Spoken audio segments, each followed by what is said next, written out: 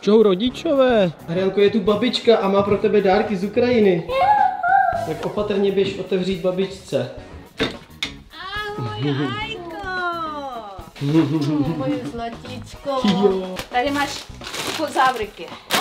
Kukozavrik, kukozavrik. Čau, dědo, takhle. Čau.